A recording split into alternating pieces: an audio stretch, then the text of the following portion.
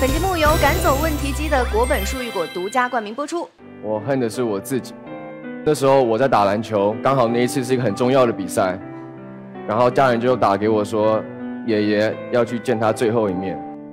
于是我就有点不耐烦的去医院看他最后一面，家人都哭了，然后我心里却在想我的篮球比赛。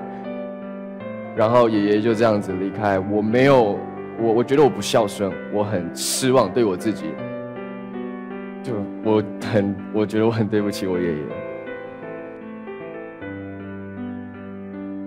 本节目由赶走问题机的国本树玉果独家冠名播出。